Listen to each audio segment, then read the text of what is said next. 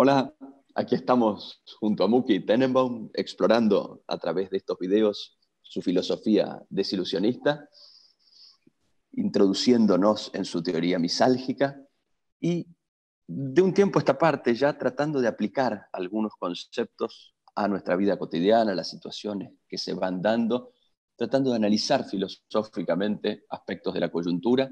Estamos en septiembre ya del 2021, plena pandemia de COVID, como desde el principio de estos videos.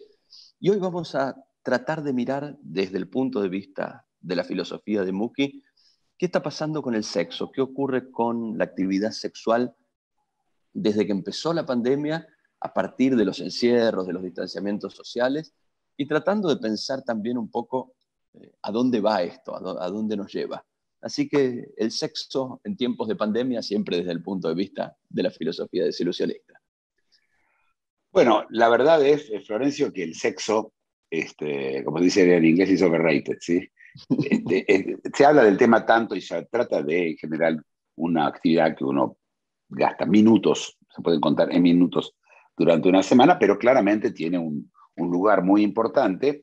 Eh, y, en algo que ya uno se está olvidando, y es que el sexo también termina en, eh, reproducción.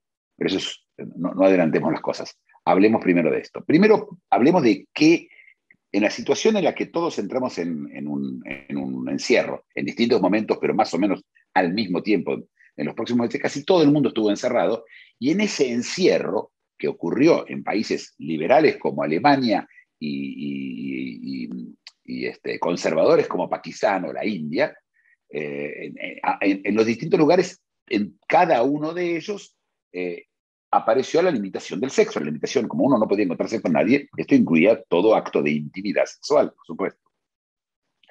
Y entonces, ¿qué pasó?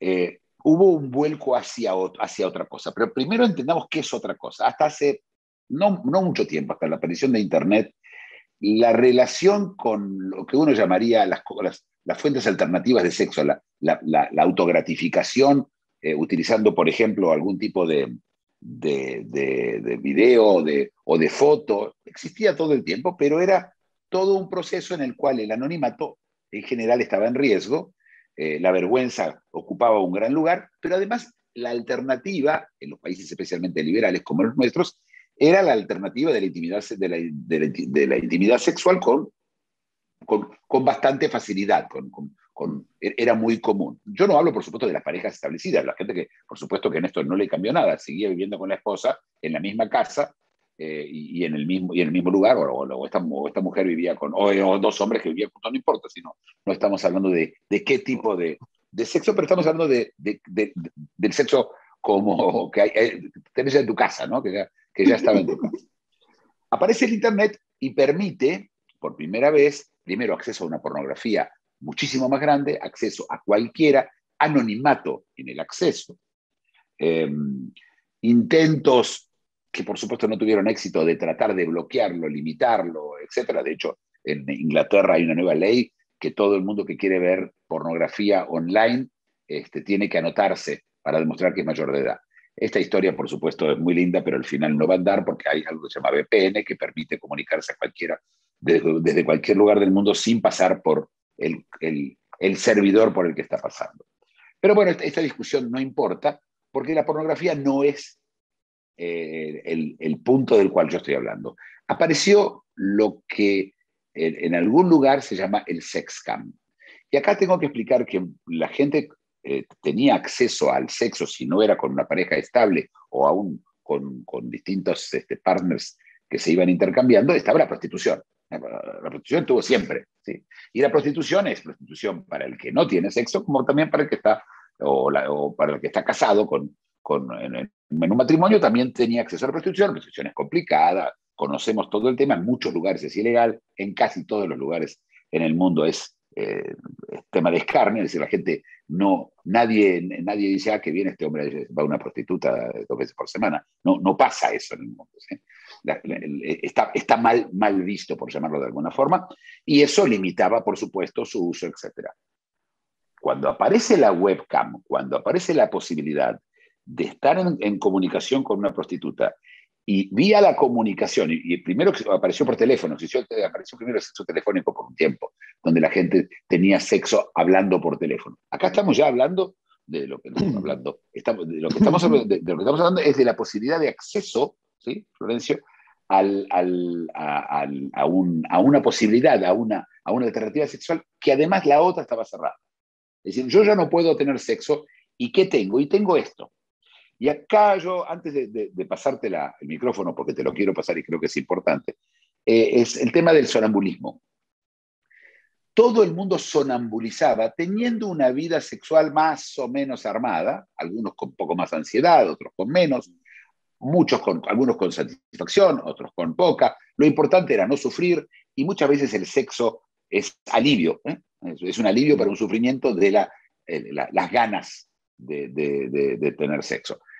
Y por supuesto estaba muy limitado, ¿sí? es decir, uno tenía el, menú para, de, sexo, era las personas que uno tiene, no digo en la egosfera, pero en la egosfera de las egosferas, ¿sí? en general. También, por supuesto, salió el Internet donde se podían hacer datings y, y conocemos, pero era limitado, si no era, uno no podía este, elegir un partner sexual de determinadas, determinadas condiciones, un hombre mayor no podía elegir una chica joven, podía, podría pasarle, a menos que haya una prostituta. Si no, esto no existía. Internet empezó a permitir esto que vamos después a, describir, pero no sin antes escuchar este, tu opinión, que es tan importante en este caso. No, eh, me quedé un poquito con lo que decías al principio de, incluso en inglés, del overrating, de la sobreapreciación, de la sobrevaloración que el sexo tiene en nuestras vidas para ser algo relativamente tan escaso. Pero me quedo pensando, más allá de la prostitución, que justamente me parece el caso en el que desde antiguo el sexo aparece más depurado, más reducido a su propia materialidad como alivio, como satisfacción, más allá de la prostitución, parece que hay todo un mundo de actividades cuyo sentido viene de la posibilidad de conseguir sexo a través de ellas. Pienso en todos los viajes románticos, todas las escapadas, todos los regalos que están relacionados al incremento de una intimidad en una relación, los programas gastronómicos, culturales. Parece que nuestra sociedad tenía un mundo, eh, no directamente atado al sexo, pero dependiente de esa promesa de encuentro carnal. Y te quiero preguntar, ¿qué nos imaginamos que puede pasar con ese mundo? No solamente con los encuentros sexuales. Entiendo que ese mundo no estaba cuando el alivio, la descarga sexual dependía de la prostitución, pero en el resto de las actividades sexuales venían embosadas en una nube de otras actividades que yo no sé cuánto sentido y cuánta eficacia retienen si como vos decís, la webcam, la intimidad digital, el contacto a distancia, nos permite llegar directamente al alivio y a la satisfacción, ahorrándonos en el camino un montón de sufrimiento, eludiendo en el camino un montón de, dijiste, culpa, vergüenza, miedo, costos de todo tipo. Parece que frustraciones es un otro mapa el, que estamos empezando a mirar a partir de la disrupción del sonambuleo por, el lockdown. Bueno, mira, vos, abriste varios temas y, la verdad que, em, y, estoy de acuerdo, primero, está el tema económico, del impacto económico que tiene, que durante la pandemia toda esa industria se vio afectada. Primero que los restaurantes, por ejemplo, se vieron afectados en general, ¿sí? Mm, en, mm. temas de que además no venían parejas este, a comer, eh, eh, hay restaurantes y restaurantes, por supuesto, sí, pero eh, yo, te puedo decir que los, los em, clubes de, nocturnos, los, toda la vida nocturna, este, básicamente recibió un golpe brutal. Nadie dice que va a desaparecer. Estamos hablando en este momento de lo que está pasando ahora. vamos, a, eventualmente a hablar de lo que va a pasar, pero en este momento. Así que en, la volteada, esto, esto por supuesto lo, hizo peor. Los regalos, como vos decís, em, eh, pero la ropa. A, ver, para salir con alguien, porque vos querés seducir a alguien, ¿sí? E, esa persona querés seducir o querés mantenerla seducida o no querés perder face, como dirían los chinos, este, frente, frente a esa persona, eh, vos te querés vestir bien. Y eso quería decir que, bueno, ya la camisa esa, la azul, ya la vio la chica la última vez. Entonces me tengo que ir a comprar otra camisa, ¿sí? Y eh, pantalones, y me tengo que ir a la peluquería, ¿sí? Y tengo que, y me tengo que afeitar, y tengo todas estas cosas que durante la pandemia, por supuesto, no tenían ninguna utilidad. No tenían ninguna utilidad porque no había a quién, no se podía salir y no se podía llegar. Eh, a todo eso, aunque pueda salir, está el miedo de contagiarse. Es decir, eh, esto no es solamente el gobierno imponiendo un lockdown. Cualquier persona con dos dedos de frente no va a andar tratando de contagiarse de otra persona, a menos que este, se, haya, los dos hayan tenido la enfermedad, ¿sí? o, ahora, ahora eh, eh, la vacuna. Yo, quiero retrotraernos a, otra crisis que hubo con el sexo, la importante que fue con el HIV. Con la aparición del HIV tuvimos una crisis y la crisis esa, y lo, la mencionamos la última vez, ¿te acordás en el último video? Hubo una mención, porque hablábamos de, hablábamos de otra cosa, pero en, el, en la crisis del HIV aparecieron limitaciones, hubo, hubo un momento de, hubo un problema con ese momento, pero era solamente para la gente que mantenía relaciones sexuales este, vaginales o anales, no era cualquier este, situación sexual, no era cualquier intimidad, se podía salir, se podía estar, no sé, eh, y por supuesto, estaba el, estaba el condón, el, profiláctico, que permitía, por supuesto, eh, volver a esa vida. Era muy cortito, era solo sobre eso, pero fue importante y, y, pasó en todo el mundo más o menos al mismo tiempo. Pero no había mm. lockdown, no había nadie. Es cierto que también creó un poquito de me, cuido. Eh, a ver, de hecho, mira el tema, hubo, hubo, un golpe para la promiscuidad. Es decir, cuanto más promiscua la persona, menos la gente tenía ganas de tener algún tipo de relación con ellos porque te podía contagiar. Esto ya ocurría antes, esto tiene una historia con el sífilis y la gonorrea, es decir, el, el, HIV fue simplemente porque era mortal y era, no había antibiótico, no había nada. Pero hasta hace no sé cuántos años que hay antibióticos, antes tener sífilis era una condena a muerte, a largo plazo, pero lo era. Así que esto siempre vino, eh, eh, pero ahora no podés, como vos decís, todo lo, todo lo que alrededor fue cayendo, y sigue cayendo porque además vos entendés que este señor este, que, que tenía una regalería para, este, para, para, para las mujeres o un lugar que vendía flores para mujeres, no sé, o lo que sea, ese tipo también comía carne. Iba al carnicero, compraba carne. Y, entonces, es cierto que los estados tiraron dinero, tiraron dinero, inundaron con dinero para mantener, como dijimos, el sonambulismo en el mismo lugar.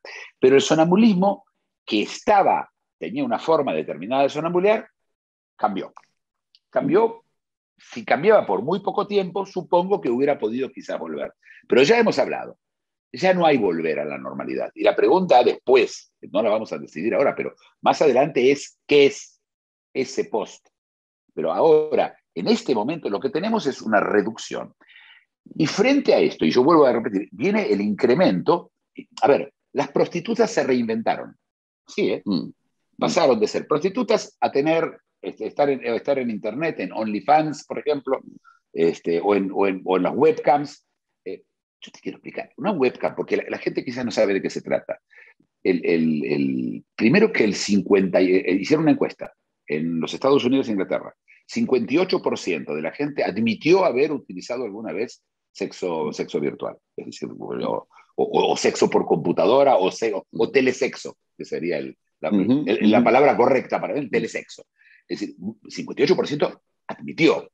Yo me imagino que hay un porcentaje de gente que lo hizo y no admitió. Así que estamos hablando de una cosa muy común, pero igual mucha de la gente no sabe cómo funciona y es una, una señorita que está, hay un, menú gigante de, de, webcams, pero gigante es gigante, ¿eh? decenas de miles de, de webcams de todo tipo, de todas razas, de todas las edades, dentro de las edades mayores de edad, por supuesto. Cuando digo todas las edades me refiero todas las edades, de todo tipo, y el costo de un minuto en, el en la webcam es menos de un dólar. Esto es, y hay más barato también. ¿no? Pero digamos que el menos de un dólar o un dólar el minuto, estamos hablando de un gasto de 60 dólares en una hora de sexo, ¿sí? No de ir al cine, de llevar a comer, de 60 minutos de sexo. Y en esa, en esa webcam eh, lo, que, lo que ocurre o lo que puede ocurrir es que la persona que está de este lado el, consumidor, le pide a la, persona que está del otro lado que haga cosas determinadas. Y eso puede ser one way, es decir, solo yo la mm. veo a la persona que está, está haciendo la performance, o mm. este, ida y vuelta. A esto se le agrega, ¿sí? hoy, la tecnología de hoy, este, eh, la, realidad virtual, los anteojos de realidad virtual, está lleno de webcams con realidad virtual, en donde ya, lo quiero explicar que la diferencia, la diferencia es que hay otra persona que no es uno, del mismo sexo que es uno, haciendo cosas que él, este le pide, que esa persona le haga a la otra, y como está con los anteojos virtuales, le parece que lo está haciendo él bastante cerca, podría no, quizás, pero bastante mm. cerca a relaciones sexuales comunes. Cuando no hay otra alternativa. ¿Qué opinas de esto, Florencia? No, pienso, a ver, que la virtualidad de a poco fue ofreciendo una alternativa a las experiencias concretas, reales, y una alternativa cada vez más satisfactoria, me parece que esto es un plano de análisis general en nuestras sociedades y empezamos a poder escuchar los partidos de fútbol sin ir al estadio a través de la radio, después los vimos por televisión, después la televisión se volvió de alta, alta, alta definición. Acá hay un camino que la pornografía también recorrió. Yo me reía para mis adentros mientras vos introducías el tema. Yo llegué en el siglo XX con una novia que se había ido a vivir a Italia a mandarnos cartas manuscritas con fotos impresas en papel una forma muy, muy, muy primitiva de erotismo a la distancia, que después con el teléfono, después finalmente con esta interactividad, me parece que se va alcanzando un punto en el cual la sustitución, si bien no es exactamente la experiencia concreta, material, se le parece cada vez más. Y del otro lado, yo volviendo a nuestro patrón de análisis habitual, me quedo pensando en todas las algias que desaparecen obvio que los costos directos, pero todos los riesgos, todos los miedos, toda la dificultad en el acceso, porque esto es suponiendo que la webcam no me conecta con un mundo al cual yo, si vivo en un pueblo, si vivo en un lugar pequeño, olvidémonos del lockdown, nunca voy a llegar. Eh, mis chances de tener encuentros íntimos con gente de otras razas, de otras etnias, de otros orígenes, como decías vos, de otros segmentos etarios. En el mundo físico, en el mundo real, son muy bajas. De pronto, en la red, esto se vuelve facilísimo. Yo me gustaría pensar allí cuánto se pierde, pero también cuánto se gana en términos misálgicos en esta sustitución. Voy a ir, pero primero quiero aclarar que estamos hablando de dos temas distintos. Uno es a mí no me gusta el pollo, realmente. No, me gusta mucho comer pollo. Pero si no hay otra cosa para comer, como pollo. ¿Ok? Tengo hambre. ¿Ok? Entonces, cuando una persona.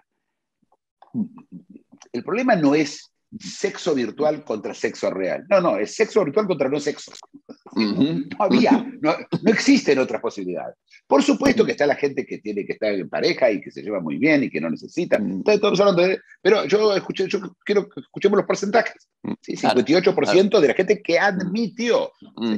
Aunque aceptemos ese número, es un número brutal, es un número que yo, la verdad, que es de las cosas que más me, más me impresionaron. Así que esto es una cosa. La segunda es la versatilidad, la, posibilidad de agrandar el campo o incluso hacerlo más específico. Entonces, la gente cuando tiene tienen fantasías, ¿sí? O, sí, la, palabra, yo, tampoco no, me gusta demasiado la palabra fantasía, pero cuando, cuando imaginan este, otra, una alternativa, todo lo que tienen que hacer es ir a la webcam. Pero más aún, alternativas que nunca se le ocurrieron. Ah. Ah, están en la webcam. Esto, eh, eh, eh, es decir, el, primer problema es el problema de la sustitución. Mm. Y la, la sustitución, a algunos le funcionó y a otros no. Me imagino que a algunos les sirvió, a otros no les sirvió. Pero hay un el problema de la sustitución es, el sonambulismo. Si esto dura lo suficiente tiempo, esta es la forma que la gente eligió estar. Ahora, vamos a tu pregunta, que es la más, mm. que, que es, y es, ¿Qué ventajas tiene el sexo virtual sobre el sexo real. Cuando, no cuando no hay, cuando no hay ya está claro, ¿sí? es por eso la ventaja, más importante que hay. ¿sí? La que, pero la que no tiene, las ventajas, la, la es, imaginemos que tiene ahora las dos, pero ya estuvo aquí, ya ah ya, eh, eh, él, ya, ya, probó de la, del, fruto prohibido, por llamarlo de alguna forma, utilizando ideas de Génesis. ¿sí? A mí un libro que me parece, siempre me parece un libro brillante, este, si, bien no estoy de acuerdo con la, con la parte... La, parte de los dioses y todo el tema, pero las historias son, las alegorías son muy buenas. Eh, es decir, cuando uno es que probó el fruto prohibido, y ahora lo compara con esa manzana que él comía, este, que se compraba y, y la comía. Y la pregunta es, ¿qué le pasa a eso? Y él tiene varias cosas que juegan a su favor. Primero, es seguro. Uno no se puede agarrar sífilis, HIV, COVID, de sexo virtual. Eso primero, esto es el motivo por el cual mm. al final esto tuvo éxito, las dos fuerzas, ¿no? No hay y además si hay tengo miedo. Las dos cosas. Em, eh, yo lo tengo anotado acá porque realmente son muchos, muchos beneficios y no los recuerdo todos de mm. memoria. Eh, el otro es barato. Es decir, es más, tiene un precio fijo, claro, fuera de la prostituta que tiene un precio fijo, claro, que probablemente es mucho más caro que esto, yo no sé, no, no, no, no entré en el mundo, pero, pero estuve leyendo, sí, yo, yo me dediqué a leer, pues, me interesó el tema, me interesó ver... y, cuando estás hablando de, de 60 minutos, 60 dólares la hora, con la prostituta que querés, cuándo querés, cómo querés, acá hay, acá hay la comodidad es infinita. No te tienes que afeitar. La otra persona, como una prostituta normal, ¿eh? la otra persona no, tiene, no te tienes que gustar. Nada, no tiene. Todo, todo, todo está permitido en eso. Em, además, es inmediato, en el momento que yo quiero. ¿sí? El sexo en general es, por supuesto, es consensual. Las dos partes quieren tener sexo en ese momento, a esa mm. hora, y hay ruidos, hay esto, hay lo otro, ya, ya sabes, más en un encierro, yo te recuerdo, mm. ¿sí? Entonces esto es ahí, terminó una hora, media, dos, lo que uno quiera, de, la, forma que uno quiera. Una puede estar, una, una prostituta del otro lado, no sé, llama la prostituta, llama, llama, llamémosla, este, que da servicios sexuales, eh, tele, tele, sí. Incluso creo que el etiquetamiento y la carga moral asociada al etiquetamiento también se puede redefinir y se puede modificar, ¿no? Pero no solo por ahí, Florencio, no mm. solamente este, la, carga moral se puede definir. Te dije, las mujeres que están, y los hombres que están en, en, eh, las webcams, mm. vienen en general de la prostitución. No es que las prostitutas mm. se quedaron en su casa y se pusieron a tejer. Es decir, esto era el próximo paso. Mm. tiene tanto éxito, además. ¿Tú viste lo que pasó mm. con OnlyFans? ¿no? Este, OnlyFans es el site de los más importantes mm. de webcam. Sí, no es, no es exactamente lo mismo, pero tuvo tanto éxito que vinieron y le exigieron que dejen de mostrar sexo en el, el, tema está en me quedo pegado en esa industria no me quedo recordemos que Pornhub y sus, y sus afiliados que es el más grande grupo de, creo que es el tercer lugar más visitado de la web Creo que anda por ahí con Google. Son, compañías monstruosas, sí, sí, sí. Pero, pero de un éxito, de, un éxito monstruoso.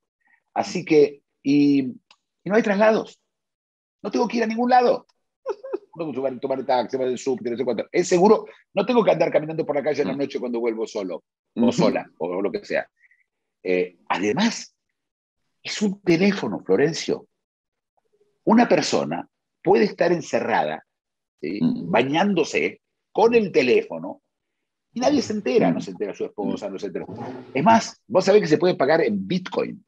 Ah. Eh, ojo, yo no, quiero que esto termine siendo una, un infomercial para los, para los una publicidad para esta gente. Es que yo me, lo que, lo que me pasó es que cuando fui a investigar, me ah. encontré con algo, como siempre, ¿sí? Que, el capitalismo hace, ¿no? Las, cuando las hacen, las hacen bien. Hay todas las opciones, etcétera y, y, me, no, me quedé investigando porque realmente podés estar investigando eh, tres, cuatro meses, ¿sí? Incluso mi esposa diría, ¿qué estás investigando tanto, no? ¿Por qué investigas tanto? Este es otro tema. Cuando una mm. mujer le encontraba al marido una revista de, de, Playboy, eh, podía haber un escándalo, podía haber una cosa, pero no tenía un divorcio, ¿sí? Ah, ah. Esto también está por ahí, es decir, me, divorcio porque mi, marido, puede pasar, ¿eh? yo, no digo que no, no me da bola, puede ser, no, no le existo, pero, ¿entendés? Esto crea todo un nuevo mundo, eh, socialmente hablando, que me parece muy interesante. Estamos excedidos ya de nuestro tiempo habitual, Muki, lo que te voy a proponer y les voy a proponer a los que nos vean es que pensemos el futuro de esto, pensemos a dónde se abre esto en, otra vuelta, en otro, en otro video. lo, vamos, yo, yo, creo que lo vamos a hacer la semana que viene, directo, uno tras del otro, para que la gente pueda ver uno, pegado uno al otro. pero porque vamos a hablar. esto es apenas mirando, mirando atrás, mirando a lo que viene ocurriendo hasta ahora, pero me parece que a futuro se abre un mundo súper interesante para analizar. Y yo te quiero contar que yo toqué en mis descripciones así, mm. Fui muy cuidadoso para tocar mucho. Si yo quiero sentarme a describir las distintas cosas que yo vi en estas semanas, los artículos que yo leí, eh, tenemos, tenemos acá para, para cinco videos, ah. pero creo que la idea está. ¿sí? Y desde el punto de vista desilusionista, ¿sí? Mm. el tema es huida del sufrimiento ¿sí? y sonambulismo, por lo tanto. Check. Y, y están los dos acá muy claramente. Buenísimo. Hasta la próxima. Gracias. Hasta la próxima. Chao. Si te gustó el video, dale like y suscríbete. Síguenos en Facebook y en LinkedIn.